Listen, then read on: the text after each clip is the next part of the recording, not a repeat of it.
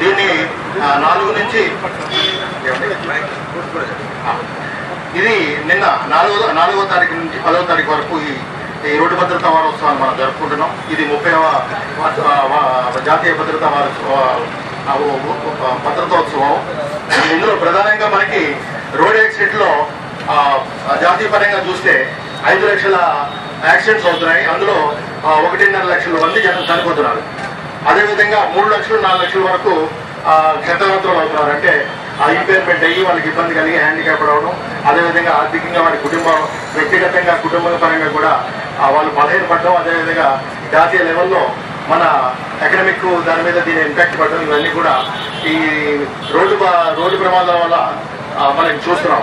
దీన్ని ముఖ్య ఉద్దేశంగా తీసుకొని ఏదైతే ముఖ్య భాగంగా ప్రమాదాలన్నింటిలో కూడా ఈ హెల్మెట్ ధరించకపోవడం ప్రధానంగా ఆ యుక్త వయసు పద్దెనిమిది నుంచి ముప్పై ఐదు సంవత్సరాల లోపల ఉన్న వాళ్ళు ఎక్కువ దుర్మరణం పాలవుతున్నారు కాబట్టి వాళ్ళలో మళ్ళీ ఎందుకు అవుతున్నారు అనేది ఒకసారి మనం చూస్తే కేవలం హెల్మెట్ లేకపోవడం దీని తర్వాత ఓవర్ స్పీడ్ అదేవిధంగా మద్యం సేవించడం. ఈ మూడు అంశాలని మనం ప్రాధాన్యత తీసుకొని వాటిని దాన్ని కంట్రోల్ చేస్తే డెఫినెట్గా మనకి ఈ ప్రమాదాల సంఖ్య తగ్గుతుందనే ఉద్దేశంతో సదుద్దేశంతో ఈ రోజు అంటే ఐదో తారీఖున ఆ పోలీస్ మరియు రవాణా శాఖ గారి ఆధ్వర్యంలో సంయుక్తంగా ఈ హెల్మెట్ ర్యాలీ నిర్వహిస్తున్నాం దీన్ని ప్రజలంతా గుర్తించుకొని విధిగా ఈ హెల్మెట్ ధారణ చేస్తే మన ప్రాణరక్షణ మ్యాక్సిమం నైన్టీ నైన్ పర్సెంట్ వరకు ఈ తలకు సంబంధించిన గాయాలు కానీ లేకపోతే ప్రమాదాలు కానీ జరగవు.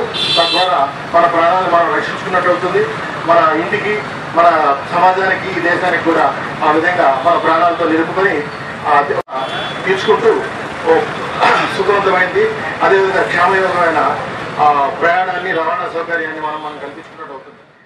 ముప్పై భద్రతా వారోత్సవాల సందర్భంగా రవాణా శాఖ మరియు పోలీస్ శాఖ సంయుక్తంగా నిర్వహిస్తున్న ఈ యొక్క హెల్మెట్ ర్యాలీలో పోలీసు వారు మరియు రవాణా శాఖ వారు అంతేకాకుండా మన యొక్క సిరిసిల్ల ప్రజానీకం హెల్మెట్ ధరించి ఈరోజు మన పట్టణంలో మొత్తం ఒక ర్యాలీగా నిర్వహిస్తున్నాము.